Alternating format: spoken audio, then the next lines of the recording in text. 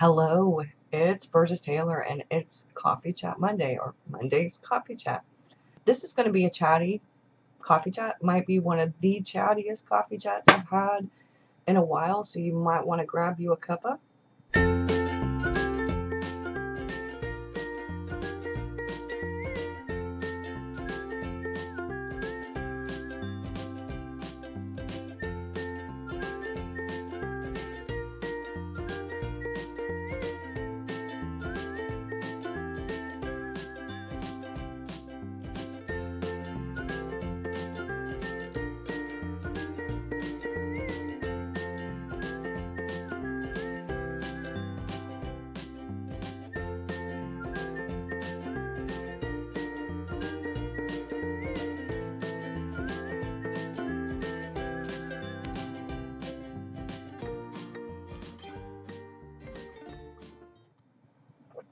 Okay, let's get started.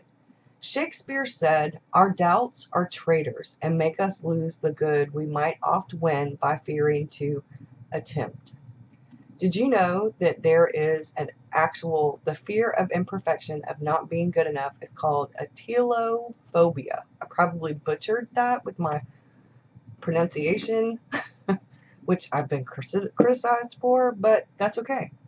Today's video is in part a video response to Cindy Gwynthart Baldo's video called Chasing Perfection. And then the subtitle is Will I Ever Make Perfect Videos? And in her description, she says, It is so easy to get sucked into the beautiful Bujo lettering plannering, and I'm going to add journaling vortex on the internet and to let that vortex make you feel inadequate. And in the video, she talks about her feelings of inadequacy and how she's managing them.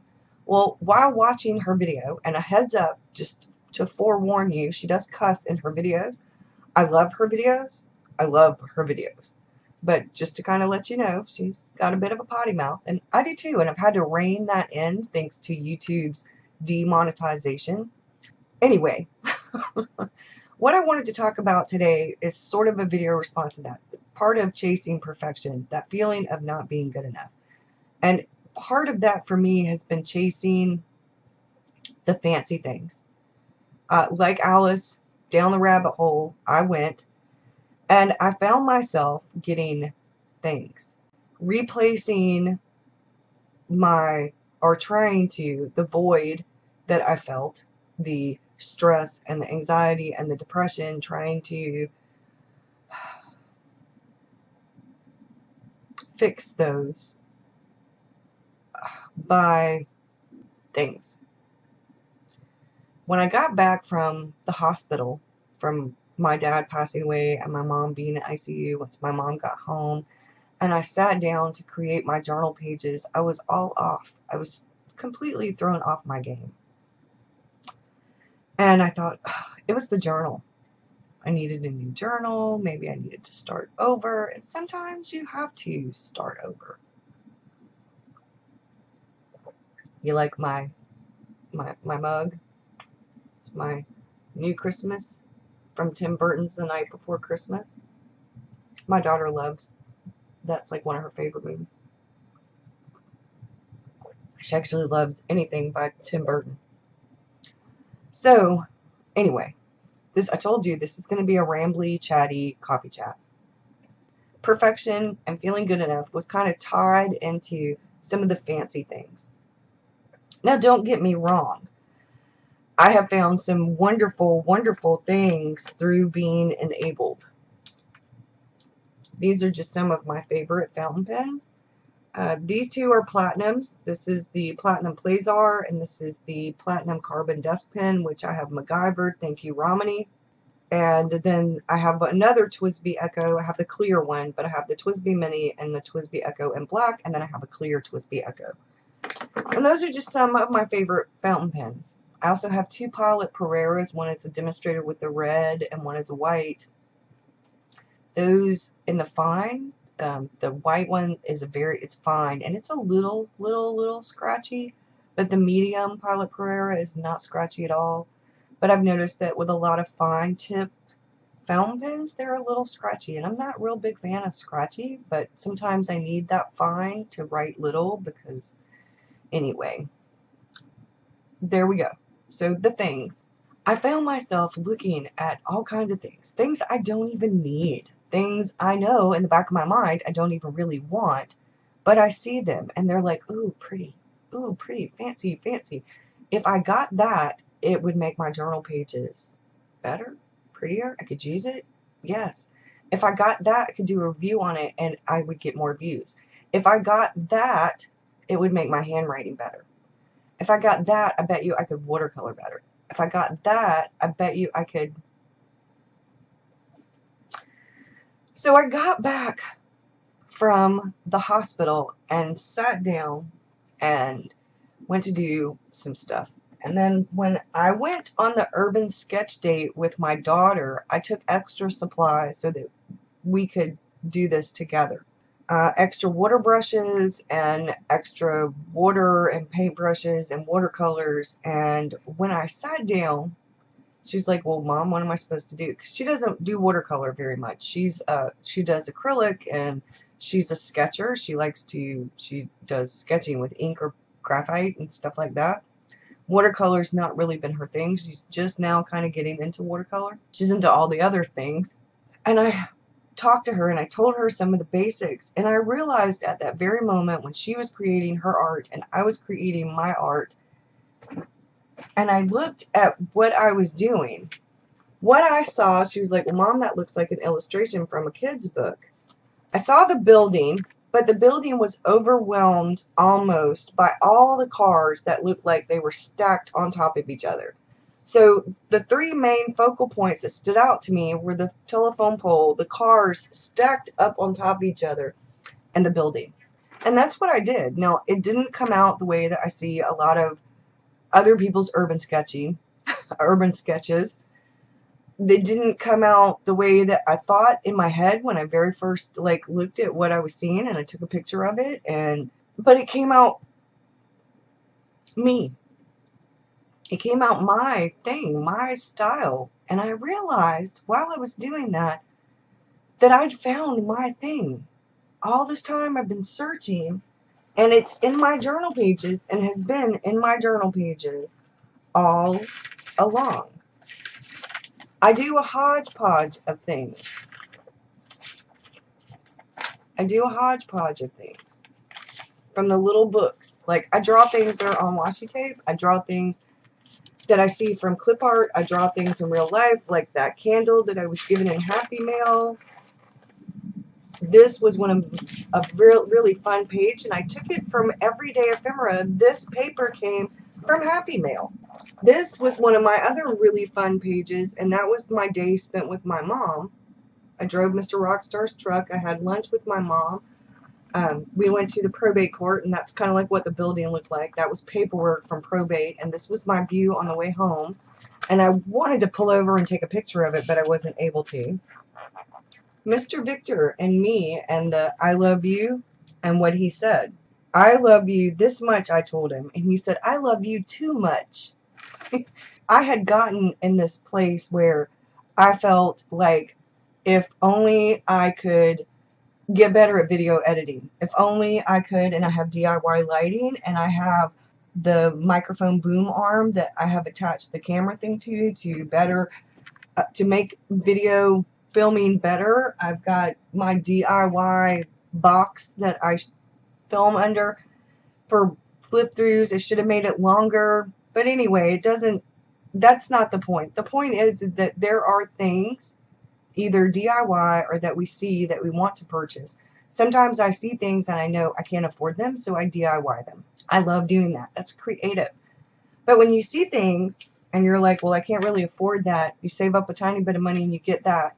And then I'm thinking, well, you know, that $100 or that $200 or that whatever amount it is, I can spend it on, and let's just say, for example, on my wish list is this beautiful sunset looking vanishing point pen, fountain pen. For the price of that $200 pen, I could get all of these pens that I have, including the other Eco, which is back there on my desk, and probably something else, ink maybe. Or I could get some more watercolors. I could get some Arches paper. I could get, I don't know, I could get an, any number of things. I could get some of those spray things, the watercolor spray things. I could get some alcohol inks. I could actually get some distress stains because I only have three and they're in these little dauber bottles and I've had them for two years. And I have brown, blue, and green. And the brown is almost finished. But when I go when I go to Michael's and I have my coupon and I'm looking at those things in the back of my head, I'm thinking, okay, distress stains and I'm pricing them. And I'm going, well, for the price of that, I could get da da da da da da da da. So I always end up getting da da da da da more better. I always end up getting the other because I could get more for my money. Because distress stains are wonderful for mixed media, but I don't do a ton of mixed media, and they're you know I don't do a lot of mixed media. I watercolor is my jam. Adding pictures and documenting my day with everyday ephemera, real life ephemera, some pages from magazines, and I get advertisements in the mail from stores and from all different kinds of places from there. And I'm thinking, I was sitting at that table with my daughter thinking, I need to get back to my roots. And before that, I was thinking, it's it, the things aren't helping me feel any better. Staying so busy is not helping me feel any better. The more I get, the, the better I get at video editing, the more I realize how much I don't know and the better I really do need to get. The more I make videos, and the more I see other people boom with their videos, and then I wonder what's wrong with me. Why aren't my videos getting more views? Why isn't my channel getting more subscribers? Why am I not growing the way that I see other people growing? And I've had this conversation with quite a few other YouTubers who are in the same sort of place that I'm at. They're right around the same amount of, of subscribers and they do similar content and at the same we're sort of at the same place where do you want your channel to go do you want to be authentic to you and be real and like Cindy said I'm never going to be one of those people who has perfect videos any more than I'm going to be one of those people who has perfect journal pages who has perfect handwriting although Cindy does have some damn near perfect hand oh my god she's got the best handwriting I love her lettering videos love her lettering videos um, I love her handwriting. And there are other people, and you can see their improvement. Boho Berry talked about her handwriting and something recently. And you see improvement, and you see, but then you think, well, maybe I'm just not good enough. Maybe uh, the reason that I don't have a whole ton of subscribers on YouTube or follow our patrons on Patreon is that I'm in this niche and it's not like the big platform kind of niche. I don't have that assumed standard video that is out there on social media or my pictures or whatever, you know. Uh, I don't share on Instagram nearly enough. I don't share my videos on Pinterest or in other Facebook groups like when I do Hobonichi Planner videos. I don't share them in the Hobonichi Facebook groups hardly ever or, or my Traveler's Notebooks videos in the Traveler's Notebooks in the Traveler's Notebook Facebook group, and I probably should. My videos would probably get a lot more views if I shared them that way. Part of the problem is is that I don't think about it. Part of the problem is is that I feel hesitant to do that because doesn't that feel a little bit narcissistic? You know, do I mean I don't know that they want me sharing my videos in that, you know, group. I don't know. I don't know. And all I know is that lately I felt like Alice going down that rabbit hole. I felt like I'm not good enough because I can't afford all those fancy things. I've felt like I'm not good enough because my journal pages aren't perfect, because my videos aren't perfect, because my accent isn't perfect, because I'm never going to be one of those people who have those kind of perfect videos or those perfect pictures are those perfect journal pages or the perfect planner pages or any of that. And I, I'm okay with that. What I'm not okay with, however, is feeling like the things, the fancy things, are going to make me feel better, are going to make me feel good enough. I'm not okay with being ra- uh, with with feeling like Alice down that rabbit hole. I'm okay with enabling and being enabled a bit, but I'm not okay with feeling like the things are what's really important because what's really important I could actually do with a pen and a box of crayons and some paper. So December is going to be my use what you have month. December is going to be about getting back to the roots of what I love to do and what I enjoy and, and, and DIYing different things and having some fun. It's going to be about figuring out what I really do love, what I really would like to try, what I really am good at, and re emphasizing the fact that I am good enough those self-doubts, those feelings of inadequacy, we can we can't replace that void or our insecurities or our feelings of not being good enough with things. It won't make us feel better. It just in the end makes us feel a bit worse because what if you can't afford all of those things? You know, what if what if the next best thing is something that doesn't sit with you or it, you don't really like and then you've invested all this money in it and it's not something you like. Now some things you can resell but no amount of traveler's notebooks or Hobonichis or watercolor palettes or watercolor brushes or fountain pens or pen cases or notebooks or sketchbooks. No amount of things is going to make my art better if I don't work at my art. No amount of things is going to make my videos better if I don't work at making my videos better. No amount of things is going to make me feel better about myself I don't work at feeling better about myself. No amount of things or no amount of busyness is going to make me get over feeling so sad and angry and lost over losing my dad, over nearly losing my mom, over the the stress and the fear um, about Mr. Rockstar having Crohn's disease. the things aren't going to fix those things. It's time to address some of the real issues for me and I thought I'd share my journey here. It's is very personal and it's going to be probably way more personal on on Patreon. The debate about functional and pretty planning is a big debate in the planner community. I struggled. And I struggled because I realized that as creative as I am and as much as I love having stickers to make it easier. I enjoy drawing those little things, the little faces and the little fancy stick figures much better than I actually like putting a sticker on a page. So I'm using up some of my stickers, but I'm going to get back to drawing those things. Um, December is going to be that for me. I'm going to be drawing the things. Now I'm using up some of the stickers because I've already put some of the stickers down on my pages. And I have some stickers. Some of them are samplers. You know, I can't afford a subscription box of stickers. And that's what made me start thinking. You know, I was like, oh, stickers. Oh, they're so cute. And they are so cute. But do I really want to spend 20 to $30 a month on stickers, on some subscription box for stickers or, or for bits and pieces of ephemera when I can find those in all different kinds of places for free? because if I wanted to get a subscription box like that, I'd have to give up my Art Snacks box. And I like the Art Snacks box way too much to give it up. I get to try new products and watch videos about people trying those same new products to figure out what they really are and how you can really use them and different things like that. I'm at this weird place where I'm at a crossroad.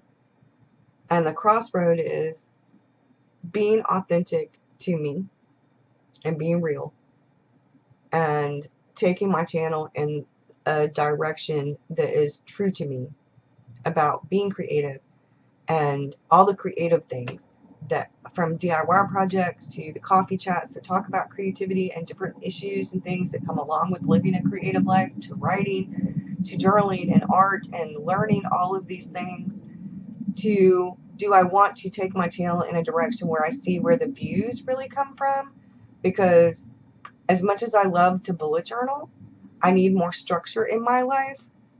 And I really, as far as planning goes, I don't like creating the calendars every single month. I like having the calendar already made. I love the Hobonichi. I absolutely love the Hobonichi. The only downside to the Hobonichi, if you want to journal, is that it's only one page per day. If you're planning, the only downside is you don't really have room for collections. So I still do kind of do the bullet journal as far as collections go. I'm going to be chronicling all in December how I am using what I have and going through what I have and getting some stuff organized and purged so that in January I can de-stash some stuff.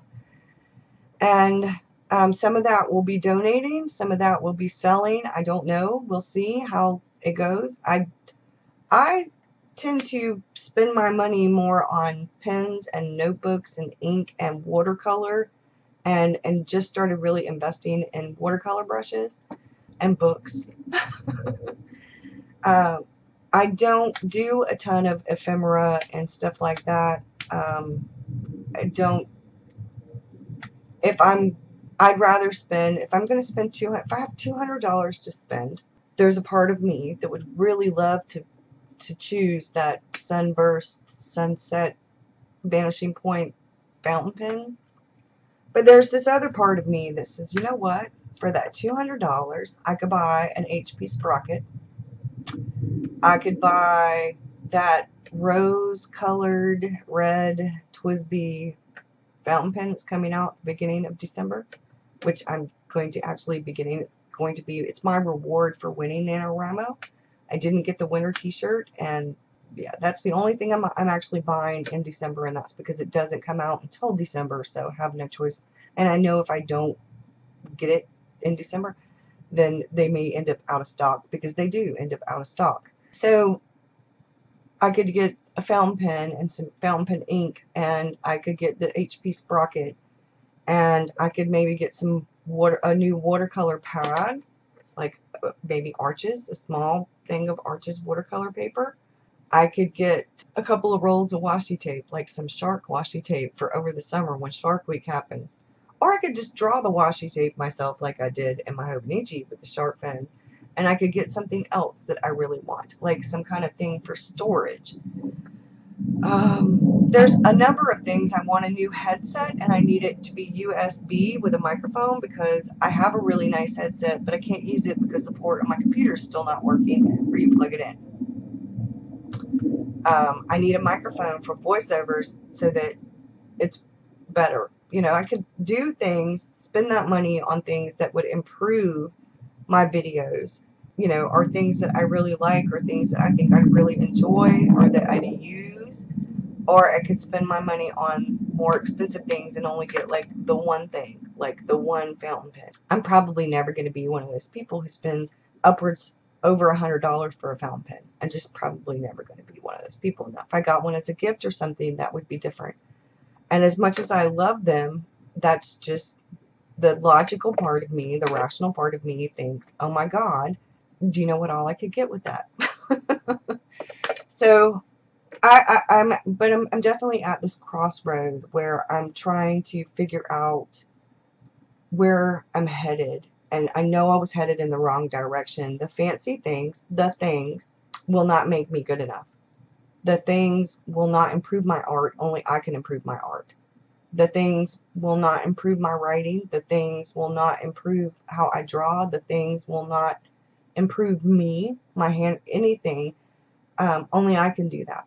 What I can do, however, is go back to my roots and go back to uh, having less to choose from so that I can be more creative because I find that the more I have to choose from, the more antsy I am. It's too much. It's too much to choose from. It's too overwhelming. And I don't, am not as creative because I'm not thinking as much outside of the box. And I prefer to think outside of the box. I prefer to be outside of the box. I don't like being in the box. And um, so I'm, just at this weird place. So like I said, December is going to be my, my use what I have, my work on me and I'm good enough and show mistakes and not worry about them and I'm going to do the best job I can do with editing my videos but I'm no longer going to try to do fancy stuff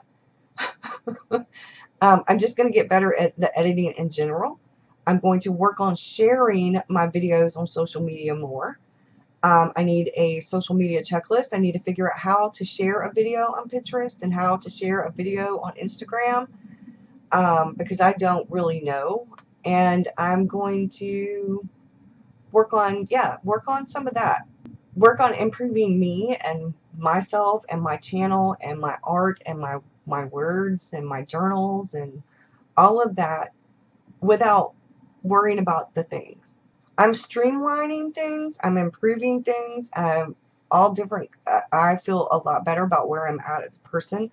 It is, for me, all about being creative and chronicling my journey because it is a journey. All of this is a journey. Life is a journey. And life as a creative person is, is such a fun journey. But we do all find ourselves sometimes getting stuck in a rut or feeling overwhelmed or feeling stressed out, feeling like we're not good enough, feeling any number of things. And I, like a lot of people, um, have been guilty of chasing perfection.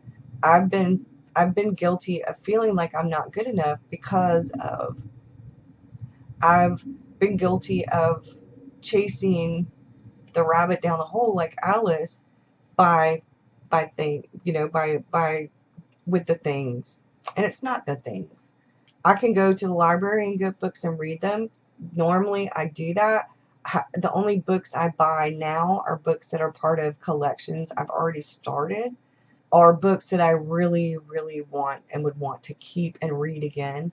I have a lot of books, and some of them I've had for a long time. Stephen King is one I'll always collect. I have a whole bookshelf of his. Some of the others I've been collecting for a long time too, like Dean Koontz and stuff like that. But yeah, I just thought I'd um, I talk about that. If I'm not, I'm, i know I'm not alone, but if you felt that stress, the angst, the the the the pressure to um, get the fancy things, to buy the things, or to do the things, let me know in the comments below. This is a touchy subject, and I'm not saying that people who have perfect videos, or that people who have perfect pages, or that people who buy the things, or that that that anything is that that's wrong. It's not. But for me, I realized I was headed in a direction that I did not like because I can't fill a void in my life that is empty, that is an emotional void with things. I can't fill the insecurity void, the self-doubt void, that, that space of feeling like I'm not good enough with things because that doesn't improve my my self-confidence, my self-esteem. That only it's like putting a band-aid on a wound. You know, I need to fix the problem, not not just put a band-aid over it. The things are just band-aids. And I'm not saying there's anything wrong with the things. So I just want to make that clear and I'm not being judgmental. I'm talking about how I felt about me. I realized what I was doing and um, I want my art to be about the art, about the process, about finding different ways and different things and doing things DIY and enjoying documenting my life. And sometimes it is about like your supplies. I have some favorite supplies and a lot of them are budget supplies and then they're in the medium range. And I have a few luxury items like Daniel Smith watercolors and the Schminckes but I don't have all the colors. Like I want black and white. I really need a, a, a in either an India ink white or and I need a better black. But those are on my to buy list, the the black and the white. the rest of them are wish list items. You know, like right now it's getting ink cartridges for my printer and getting some new photo paper. Those are priority things on my list of things to buy. Whereas buying washi tape or distress stains or what's that one thing I really want? The tabs for my Hobonichi, the monthly tabs. I want some of those. Then I'm thinking spend $14, $20, however much those tabs are, the little tabs. Or I could make them myself, or I could just not worry about the tabs and use a little tiny bit of washi tape, which is what I've used previously. I'm thinking I could spend that $20 on something I really need. I don't know. See, I'm at that place. And now I'm just rambling, so I'm going to cut this and be done with it. Because this is such a weird subject to talk about. I think sometimes people feel really funny about talking about things like this. Because you don't want people to misconstrue that what you're saying. I don't think there's anything wrong with buying that $200 Vanishing Fountain Pen, Vanishing Point Fountain Pen, if you have $200 um, to spend on it without breaking the bank, without worrying about your groceries or, or anything else. But right now, I need new glasses and I need to fix my car and we need to fix Mr. Rockstar's truck and we need to fix some things in the house. So spending $200 on a fountain pen, not going to happen. However, getting an HP Sprocket for Christmas and that TWSBI fountain pen as a reward and as part of my Christmas could maybe happen. That fountain pen may be the only thing I get for Christmas other than what I get from my mom and stuff like that because we're we're we're actually concentrating on Victor and our kids and our parents for Christmas. We're not really doing very much for us at all because we don't have the money for it. So the fountain pen will be my reward slash Christmas present. And I'm okay with that. So part of using what I have in December is about using what I have and part of it is about budget and about necessity. So yeah, if you have thought about any of this or you suffer from chasing perfection, and feeling like you're not good enough, um, if you feel like Alice down the rabbit hole when it comes to some of this fancy stuff, if you have to pick and choose, what you get and you or if you feel like the perfection thing has really taken a toll on you. I just I realized I was in a bad place. I was I was trying to fix things or or fill things fill a void by either being too busy or by things and that doesn't cut it that doesn't work because it, it's all still in here and in here um, so I'm working on the self-esteem I'm working on working through my emotions and my grief and stuff through art, which is what I really need to do, but I'm, which is what I've been doing, but it's not the things. It's not the things. Thanks for watching, y'all. I hope you have a good one. I will talk to you again soon. Bye, y'all.